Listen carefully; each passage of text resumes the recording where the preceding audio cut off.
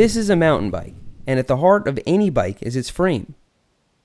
This here is the top tube, the down tube, the seat tube, the seat stay, and the chain stay. This area down here is called the bottom bracket shell. At the very front of your bike is the head tube, which houses the steerer tube. This moves smoothly thanks to a set of cups and bearings, collectively known as the headset.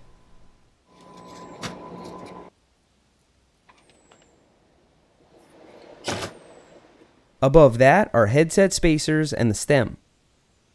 The stem, which clamps onto your handlebars, is fastened to the steerer tube with a top cap and pinch bolts. On your handlebars, you'll find brake levers, shifters, grips, and end plugs.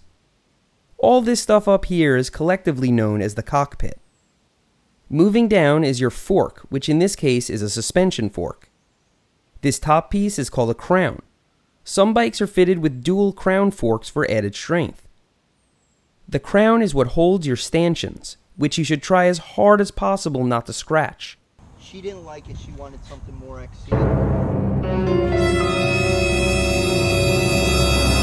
Uh, you wanted to put it on the saddle, sir. Yeah. Don't hang your bike by the stanchions. if you scratch the stand- Down here is your brake caliper, which clamps down on your rotor when you squeeze your brake lever.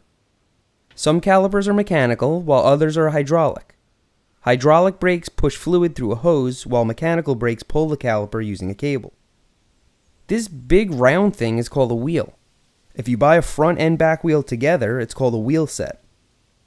All the parts of your wheels are held together using spokes, which connect to your rim with these little guys. They're called nipples. Also on the rim is a valve stem which is used for pumping air into your tires. At the center of the wheel is the hub, and inside the hub are bearings. The hub rotates on an axle. On a lot of mountain bikes, this takes the form of a through axle, which can be removed or installed by hand. On the rear wheel is a cassette hub. This has a ratcheting mechanism built into it which is made to accept a cassette. The cassette is a set of cogs which can actually be changed to your liking. The size of each cog is measured by the number of teeth it has, and these teeth are specially designed to work with a chain. Your chain is made up of individual links, with one link in particular being possible to unfasten easily. This is called the master link. The chain can be shifted up and down the cassette with a derailleur, which is attached to the bike via a small, breakable part called a derailleur hanger. If your derailleur hanger snaps or bends, you can just get a new one. On the derailleur itself is a long spring-loaded piece called the cage, which keeps tension on the chain. The chain passes through the upper pulley and lower pulley, also known as the jockey and idler, respectively.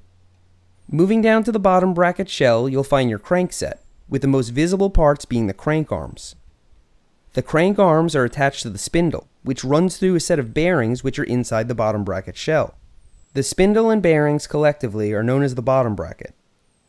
The part with all the teeth is called the chain ring. Some bikes have up to three of these. At the end of the crank arms are pedals, which can be found in many different forms. The crankset, chain, derailleur, and cassette are collectively known as your drivetrain. On a full suspension mountain bike, you'll find a variety of stuff connecting the front and rear of the bike together, known as the suspension linkage, or just linkage. At the heart of all this is your shock. This is usually fastened to the linkage on one side, and to your top tube or down tube on the other. Moving up, we have the seat or saddle. The two words are interchangeable, but some people think it's pretentious to call it a saddle. Personally, I don't care what you call it as long as you don't correct other people.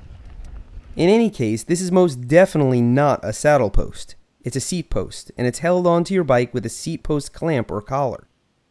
These days, a lot of seat posts can be adjusted on the fly. Those are called dropper posts. So I just named well over 50 parts of your mountain bike, but all of these parts can be broken down into hundreds more. So put those terms down in the comments. And if you're really bored, see if you can come up with the exact count of terms I used in this video. Also, tell me how you pronounce derailleur. Are you one of those people who say derailleur? In any case, thanks for riding with me today, and I'll see you next time.